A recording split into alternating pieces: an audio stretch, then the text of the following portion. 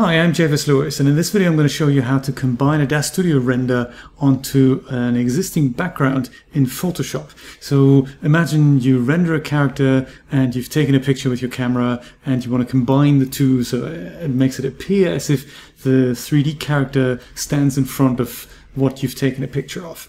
And my picture is going to look something like this. So I've, I went out to the beach and took a picture of the newest lifeguard tower here in my neighborhood. And then I've rendered the 3D Universe crab in 3Delight and then I've mounted, I've kind of mixed them together. And there's a, quite a few techniques that we'll learn here. And the first thing that you'll notice is that the crab casts a shadow onto the sand, or it appears to do that. So for that, we'll create a shadow catcher in DAZ Studio, and I'll explain to you what that is later. And also there's a few tricks here in Photoshop that make the picture appear to be taken with depth of field, but that's not the case. I've taken it on my mobile phone, and that means usually everything is pretty much in focus and there's no um, there's no depth of field there but it looks much more realistic if there was depth of field and I'm going to show you how to do that as well in Photoshop and then we're going to learn about uh, smart objects. That means it's, it's a technique in Photoshop that lets you make amendments to your picture later. So it's about all about non-destructive editing. So um, in Photoshop, if I'd if I'd create a blur, then the picture would be blurred for, forever. But if I wanted to have less or more blur later, then a smart object will come in handy. So that's what we're going to be doing today in this video and um, let's just jump right into DAZ Studio and begin. Um, this is an empty scene. I'm using DAZ 4.9 and I'm going to start by getting my character in. So in my case, I'm going to use that crab. So I'll head over to Smart Content and go to my figure section. And the very first one is the 3D Universe Toon Crab. But it'll work with any character, animals, uh, people, anything you have available. So let's double click him to get him into the scene. There he is.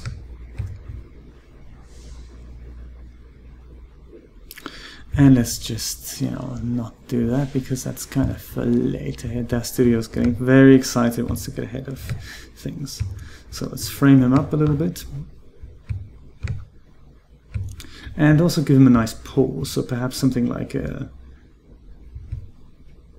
Yeah, maybe something like this. That's cool. He's and then we turn him so that he looks at the camera as if he's waving at the camera.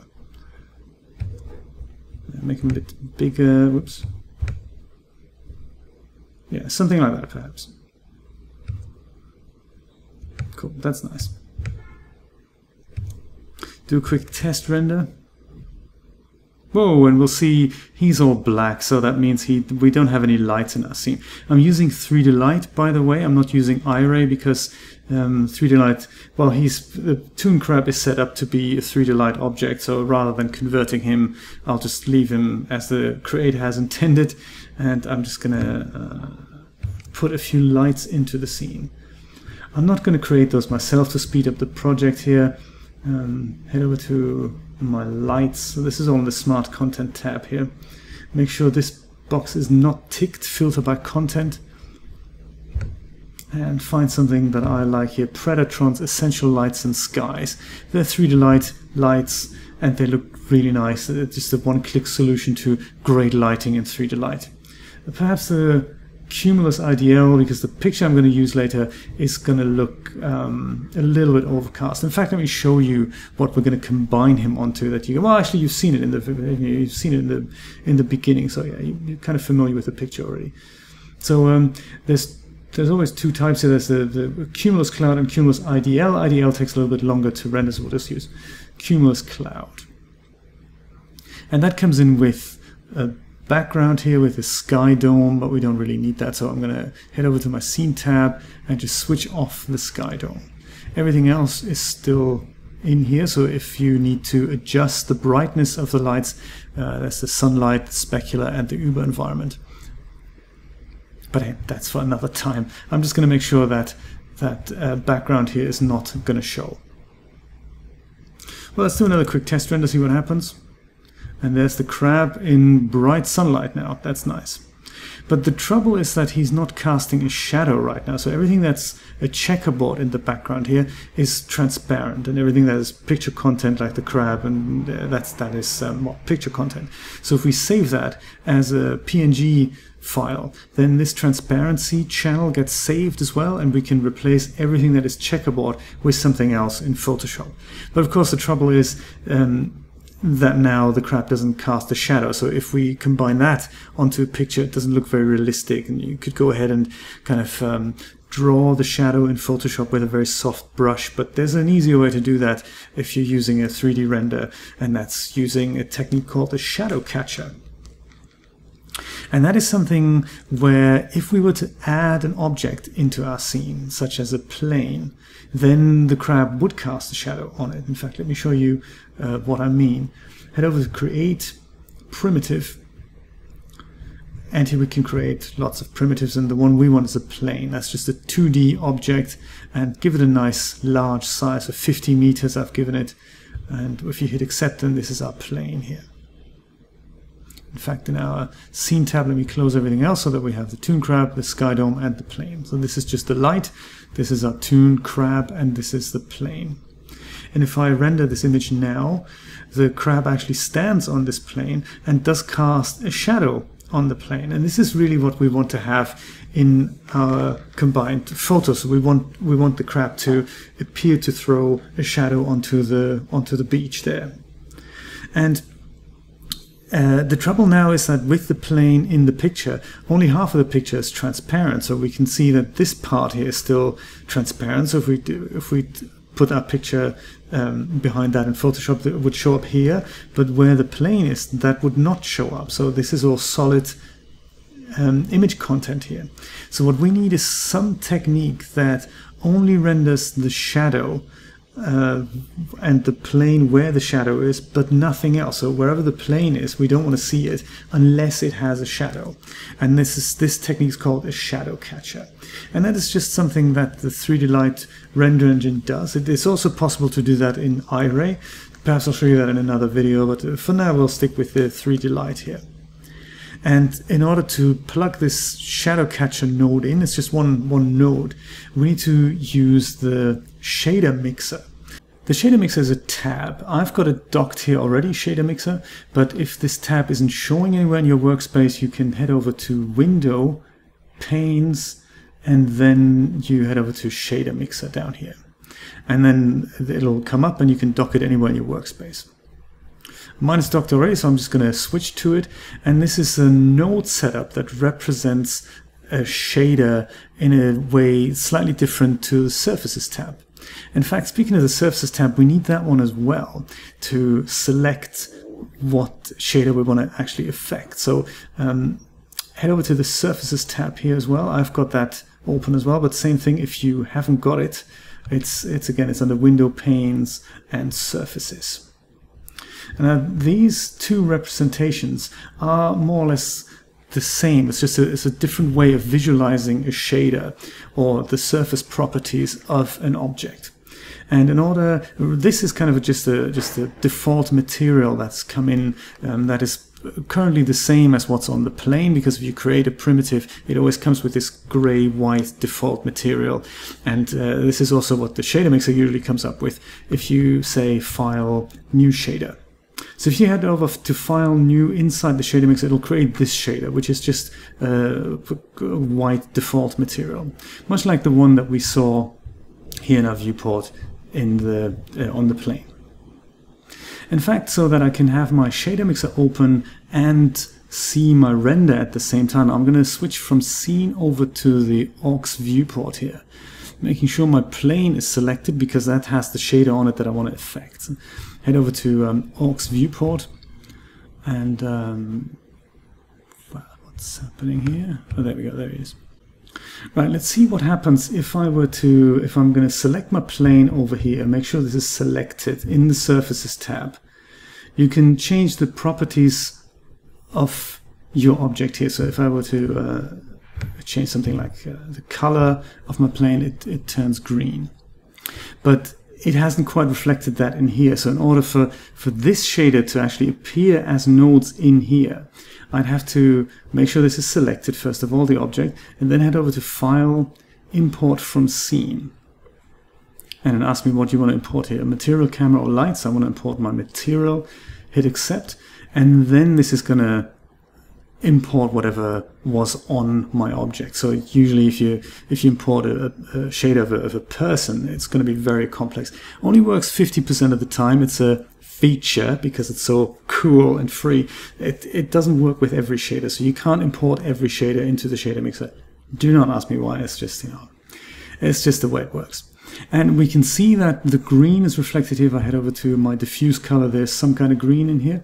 Whereas the previous one, this is the other shader here that we had the diffuse color, that is still white. Just wanted to show you the relation. This does not automatically update. You have to import this. Um, in our case, we uh, we do very much want this to be uh, white. So let me just set that back to white. And the, so, so now I've made a change here in this material in the shader mixer to get that over to my material in the scene. I have to hit apply. And now this is white again and no longer green. And the uh, surfaces tab has also changed. That's just a quick introduction. This is how basically the shader mixer works. It's a very complex topic. I'm not going to go into any more details here. The only thing that we want to do is plug in this shadow catcher node here. And we can do that. We've got a material set up here now. We can do that by adding a new brick to this setup. And that's under here. That's under bricks. Uh, make sure functions is uh, open. And then under shadows, there's something called the shadow catcher. And we get that into here just by uh, left clicking and dragging this over until this little plus icon appears here. Pop that in here. You can also reposition that anywhere else. And uh, this node here has a color output, so the C is for color, and we want to make sure we put that into the opacity of our uh, material here. And we do that by left clicking and dragging from here. And then it builds that little cable here. And we just plug that right in to opacity color. Now we have one connection here. We've got another couple of connections here that were already there. And again, this is not uh, showing up here right now because I need to hit apply to make sure that goes onto my um, onto my object. Now I still don't see anything changing here in the scene, but that's because the scene isn't rendered. So the shadow catcher will only show up if you render it, if we render that scene. And uh, we can either just uh, hit Command R, Control R, and uh, do a little preview render here. And that will do that. And we can see there's no more plane, but there is a shadow that that is underneath the crap. It doesn't look particularly great at the moment, but we'll tweak that in a second if you're working with the with the shader mixer or with any other aspect of DAZ Studio and you need to see the rendered result, then rather than creating a render every time to get a preview, you can also use the um, the interactive preview render in the aux viewport in 3Delight. It's a little bit different in Iray where you have where you can basically um, just change this to Iray and then you have a rendered viewport at all times. With 3Delight it's slightly different. You have uh, you it only works in the aux viewport. Uh, in this little context menu, you can have start and stop IPR render. You can even show the IPR toolbar, that's this little thing, and then you have the start and stop buttons right here. So if you start that, then a reduced render is being created in that little window here. So that lets you keep an eye on what the final render would look like without having to wait for the whole render to complete. Now, the, what I'm uh, what I'm not happy about here is that the shadow seems to be cast on a completely white surface, and in fact, that's that's the case. That is true. But our beach picture isn't going to be completely white. It's more like a more like a dark kind of color. So, in order to make the shadow a little bit darker and uh, look like a proper shadow, that would be cast in daylight onto a darkish or medium color object. We can do two things here. On one hand, we can um, take down the diffuse color, and the other is we can take down the specular color. So specular is already medium gray. That's a good start. I think we're going to make that a black. And the diffuse color, let's take that down uh, not to not to total black, but to like a darkish gray. And if we do that again, remember we have to hit the apply button to make that transfer over to the material. DAZ Studio realizes that and renders as a new um, image as it would appear in the final render. So this doesn't look so bad. I think I'm going to go with that and, and kick off. Let me switch that uh, preview render off and render this thing in full. There we go. That's our crab just with the shadow underneath it and everything else is transparent. So this should this should give us some good results in Photoshop. Good stuff. Let's save it on our desktop.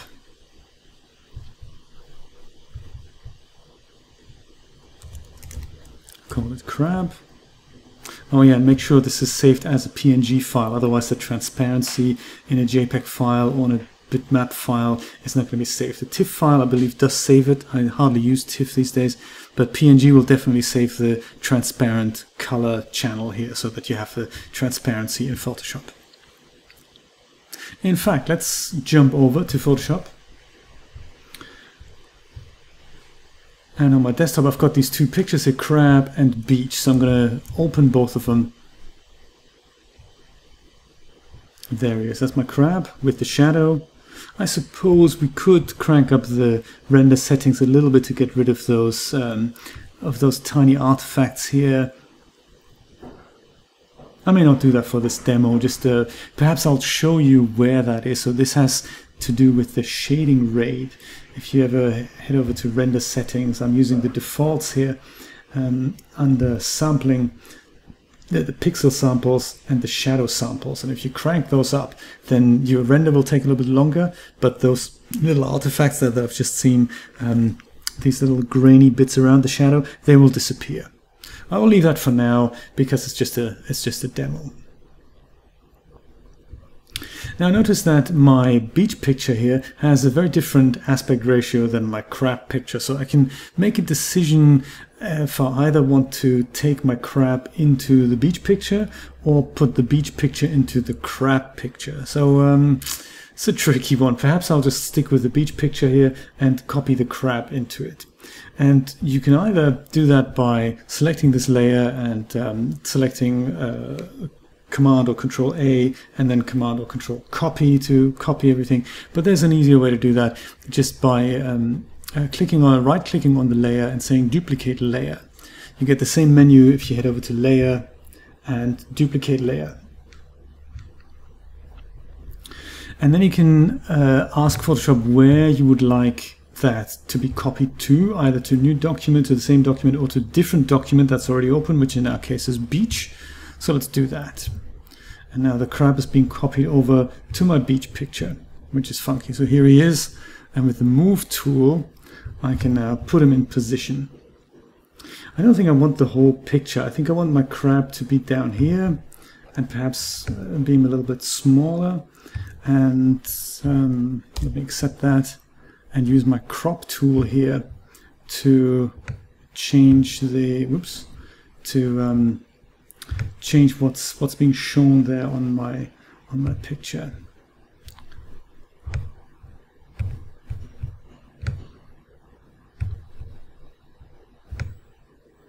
Yeah, perhaps just something like this. I think that's that's really all I want to see. I don't want to see the whole um, picture. Yes, I think this is what I want. And again, if the crab's not in position, you can use this little icon here, the move tool. It's a control, the, the shortcut is V for that. And then you can move your crab around. So maybe I'll, I'll, I'll move him here, as if I've just caught him there by the beach running around. So far so good. I think I will save my document for now. Beach PSD on the desktop is fine, so I'll save all the layers here. And um, so now the we have the we have the shadow underneath the crab. That looks much more realistic, as if you wouldn't have a shadow. Um, but the background still does not have any depth of field right now. So let's uh, work on that next. The, uh, there is a way to create a blurring in the uh, in in a layer by just selecting the layer and heading over to Filter, Blur, and then Gaussian Blur should do the trick. Well, that's maybe a bit too much here, but uh, we can blur the picture like this. But again, this wouldn't be very realistic because everything is blurred. And in a in a proper depth of field setup, the beginning of the of, of the depth of field would be in focus, and then the image would gradually become out of focus here. And uh, that's that's just not the case if we just blur the background. So what we really need, and we cancel out of this, is we need two versions of our of our picture. We need one that is blurred and one that is not blurred, and then we're going to put a layer mask in that with the gradient that uh, goes from white to black or from black to white, where black is not affecting the image behind it and white is uh, using the, the, top layer of the image. It's kind of a kind of difficult to explain, I'll, but I'll show you what I mean. Let's duplicate that layer first by holding down the Alt or Option key on that layer and then left click and drag. That will duplicate a layer, or you can just use the um, context menu that I've shown you before with the right click, duplicate layer. That'll do the same thing. Now one of these images needs to be blurred. In fact, let me um, uh, name those. I'll just call this one background or also spelled correctly background. There we go. And this one uh, perhaps I'll just call blurred so that I know which one's which. And this one while I'm at it is called my crap. There we go. Perfect. Uh, now the blurred uh, picture is currently not blurred and I will do that with with um, whatever I've shown you before the filter and blur, Gaussian blur. But before I do that, I'm going to turn my layer into a smart object. And that is done by heading over to Layer, Smart Objects, Convert to Smart Object. And when you do that, there's this little icon that appears on the on the layer thumbnail there. And I'm doing that because if I now apply a filter, any filter really, blur, Gaussian blur, and I go over the top, say I'm, I'm, blurring it so much that I can't even see my, my background anymore, I now get this layer structure here, and that means I can now non-destructively go back to the blur effect and say, hey, 60 was a bit much, perhaps I'll try 5 instead. And then accept that. So now Photoshop will, every time I go into that, will, will um, dynamically create that blur rather than burn it into the layer. So that's much better for what we're doing here. Because there's maybe too much blur. I can't quite tell yet. I really need to see that, that gradient there before I make a, an educated decision on that. So that's what smart objects do, and you can use them for many things in Photoshop. They're a very good feature, very funky. Now really what I want to do is mix the top layer that's blurred with the bottom one that's not blurred. And I don't want to do that with a with an abrupt line here. I want to do that with a gradual kind of a gradient from here to there, something like that. And we can do that by adding a layer mask to the blurred layer. So make sure this little picture is selected, not this thing, not this, it must be this one. And head over to the bottom here where it has this little um, rectangular thing with a hole in here. It's kind of the, the symbol for a layer mask. So click that and then Photoshop will put another white thing next to that next to that uh, layer thumbnail that's affected. And also notice what happens here, that you can either click that first picture and then the, the, the thumbnail of the layer has an outline, or you can click on the layer mask. Nothing appears to happen in the in the image itself, but it's important where you're going to apply that gradient. If you apply the gradient here, um, then it'll uh, be added to the picture, which is not what we want. Whereas when we click this thing, then it'll be added to the layer mask. And one other thing, if you Alt or Option click onto the layer mask, then you see the layer mask. So you no longer see the picture, you now see just the layer mask. And I will leave that here for now because I'll show you what this gradient thing that I keep talking about is going to do. So first of all, we're going to find our gradient tool underneath the paint bucket. Uh, this thing has about has three functions. So if you left click and um, hold onto it, you see the whoops, you see the gradient tool, the bucket tool, and the 3D material drop tool. So in our case, we need the gradient tool. So if you don't see this icon in your tools palette, just uh, hold click on the paint bucket tool, and it'll it'll show up there. So with it selected, make sure that your colors here are set to black and white. So just uh, click this thing if that's not the case. The little black and white icon up here that will uh, turn these colors into black and white. And if you now hover over the uh, over your document, with the layer mask still selected, you can drag a line, say from here to there. And it starts with the first color, which is white in our case, and it ends with the second color, which is black in our case. So as soon as you let go of the mouse, that's your gradient. So it goes from one color to the next. And if we drag a long line, like from here to there, then this gradient is going to be very soft. Everything above where you clicked will stay the same color, and everywhere below where you let go will also stay the same color, i.e. black in this case. So we can either do this, we can even drag outside the document if we wanted for, for a really soft gradient, or have a much shorter one for a much sharper gradient. And they're not accumulative, it's every time you do this it'll be it'll be a new gradient. And that's not much fun if we don't actually see our picture, so we don't really know uh, where the gradient needs to be here. Um, but a gradient is now going to be applied on the layer mask. And if we select our thumbnail again on the top here, um, then Photoshop will show us the image again. And we can see the effect that our layer mask is having. So this is in fact blurred, and this is not blurred down here. It's just a matter of picking out where we'd like our gradient to happen. So in order to do that is we can draw the same gradient um, again by clicking on the layer mask, this time just clicking, not alt clicking. So alt clicking will show the layer mask, just clicking will just draw on the layer mask. And with our gradient tool still selected, we can maybe draw a gradient from here to about here. How's that going to look? Yeah, maybe, you know, maybe a bit shorter like I had it before. It's kind of nice.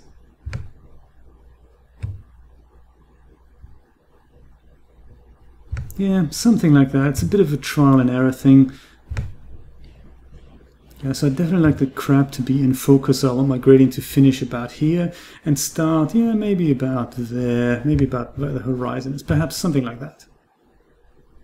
Oh, slightly, maybe slightly lower, some from here to about there. Yeah, I think I'm happy with that. But what I'm not happy with is that the this part on the bottom here, the, the crisp picture, that's that's nice, but the blurred picture is maybe a little bit too blurred for my liking. So I can I can see that there's something artificial going on here where the lifeguard tower is. It doesn't look quite natural. And I think it's not my gradient that does that. I think it's just the amount of blur that we're having here is just a bit too strong. So um, I could try a, a larger gradient from here to there. No, that just looks, you know, that just looks, that looks just as if I've got butter on my lens. This is not really what I want. So from, from here to, I'm gonna, I'm gonna go with that. And what I'm going to change is the actual amount of Gaussian blur I have on, on my picture here. And the great thing about the smart objects is now I can do that. So I can just double click on Gaussian blur again and say, okay, four, five was too much. Let's try four. Looking better. Perhaps that's even still too much. Perhaps three or 2 even, 2.5, something like that. That looks much more natural. Maybe I'll leave it at 2.5 or maybe 3, well not 23, maybe 3. Yeah, 2.5. 2.5 it is, perfect. Yeah, I think that looks much more realistic. But there's still things we can improve on that picture. So a couple of things spring to mind. Um, and uh, one is that perhaps the blurred out part of my picture now looks very well, kind of perfect. If I had taken this with a film camera, perhaps I would, even though the picture is blurred, I would probably still see some kind of film noise, some kind of film grain. And uh, that's an easy fix. Since this layer is already a smart layer, I'm going to create another filter here. Head over to Filter, Noise, and add a bit of noise not too much so maybe you know that's too much. Two was too much maybe just one. And that gives it that little bit of extra imperfection here. I think that is exactly what I want that that makes this look a little bit more natural as if this was actually um, a depth of field caused by a camera rather than by artificiality here. Yeah, let's do that. Just 1% is fine. Try it out, 2, 3, depending on how big your picture uh, is. These uh, percentage values, they, they work on, on how big the actual image is. So if you're using your 40 megapixel image, 1% really isn't going to make much of a difference. So try it out. I'm just going to click OK. And you can see that even add noise now has its own item down here in the layer structure. So if I wanted to ever change that, I'll just have to double click that. And thanks to the smart objects, uh, I can I can now change this. Okay, that's one more step into the realm of realism. Another thing that I can see here is that the crab was rendered perhaps a little bit too bright if I compare this to the background, it was a bit of an overcast afternoon, and the crab has very white, shiny eyes. I mean, it's you know, it, it makes it it makes it look okay, but I think he's just a little bit too bright. So uh, there's there's two ways of dealing with that. I can either head over back into DAZ Studio and take down the light a little bit so that the that the light in his eyes is a little bit um, less but that's kind of trial and error um, and it takes more render time. There's an easier way to do this right within Photoshop and that is by adding above the crab, adding an adjustment layer. Um, and we can do that with this little circle down here in the layers palette, the black and white circle. If you click that, then uh, we can perhaps add an exposure filter. Brightness and contrast will probably do the trick too, but I think if we use exposure, then we bring back a little bit of detail in the white of his eye. So let's do that. And um, where's another problem that we need to address? If I were to use this now, everything underneath this filter will be affected. So if I make this darker, then the whole image will be will be less exposed or more exposed. So that's not really what I want. I only want this to act on the crab and not the rest of the image or the rest of my layer stack here. And again, there is a trick that is very unintuitive and, and not exactly documented as such. Uh, but if you hover in between the space between the crab and your filter layer here while holding the alt or option key then this little icon comes up here it's a square with a black arrow and that means this will create a clipping layer or a clipping mask in between them if you hold this and then left click with your mouse then this thing will be indented and that means this filter layer is only going to work on the layer directly underneath it. To get rid of it, uh, same thing, Alt, um, click on this and then this icon will be will be there again with the crossed out arrow and if you click it then it will be indented uh, to the very left again. So again if we apply that and now we take down our exposure then you can see it only works on the crab it doesn't work on the rest of the picture and that's exactly what I want. Again not too much just a little bit less so that the crab is kind of, you know, appears as if he had been running around there on that day on which I had taken the picture. This again is completely non-destructive, so you can do that. You can you can change your mind later. I'll leave it here for now. And while we're here talking about all these things that we can do with Photoshop to make the final render or the composed uh, render look a little bit better, um, here's another trick that is probably going to work better with a character if the character fills the whole picture here, and that is by vignetting parts of the picture to just very subtly highlight a part of the picture. I will show you this with the crab. Uh, by I create a new layer with this little um, square icon here or just head over to the layer menu, layer new, new layer. That'll do the same thing. It'll be a layer on top of everything. In fact, to make this a little bit easier on the eye, I'm just going to collapse uh, all these things. So I'm going to shift select all my layers and hit command or control G to group them. So they're all still there. They're just, you know, neat and tidy in this group. So I'll select my layer and I'm going to head over to my marquee tool here, my, my circular marquee tool, or elliptical marquee tool as it's called. Uh, if you're seeing a rectangle here or one of these little rows, then just left click on this to bring up this context menu and select the elliptical marquee tool. And then we'll draw a circle around our crab. Not sure if you can see that in the screencast here. This is a this is a or an ellipse that's being drawn around the character. If you want to move this without changing its size, hit the space bar, and I'm just gonna draw a circle around my crab here. And as soon as you let go, the selection is active. I don't really want my my inside to be selected. I want everything else to be selected. So head over to Select Inverse that will invert the selection. So now everything is um, selected, but not what's on the inside of the circle. That's kind of what I want. And with my paint bucket tool now, which is hiding underneath my gradient tool, again left click and hold on this to bring that menu up. Select the paint bucket tool and um, flood fill everything in black, except for the crab. Deselect stuff with Command D or with select, whoops, select deselect. And again, we're going to convert this into a smart object. So layer, smart objects, convert to smart object.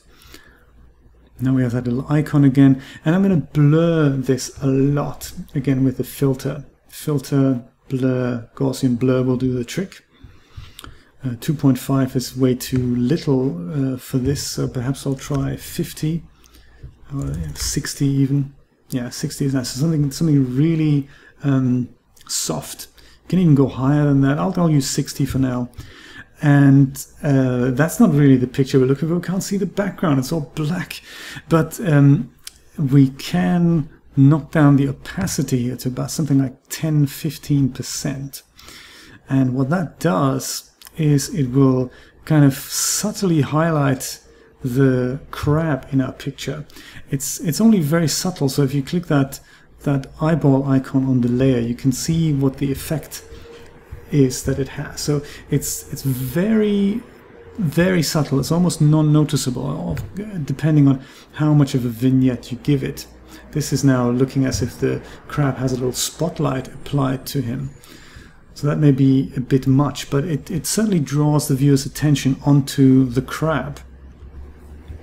And this works much better if your character is much larger and fills most of the picture, and you can you can uh, subtly blur the rest of the picture out. So perhaps you know 37% in my case is a bit much. I'll just go with perhaps 15 or something. There. That's just a, a tiny bit of a, an attention grabber that just you know subconsciously sucks the viewer's attention onto the crab. All these values are non-destructive, so everything that we've made here, including the blur and the gradient and everything, you can you can change everything at a later date. If it makes your renders better, great. Uh, play around with it, uh, see what you can come up with, make it as subtle or as over the top as you like. Try it out with larger characters, try it out with different images, and uh, see if you can make your renders, you know, that tad better would be nice. Um, that was it. I hope it was helpful. If you like this video, please uh, share this with friends, family, and total strangers. And don't forget to subscribe to my channel. Uh, bye for now. I will see you next time.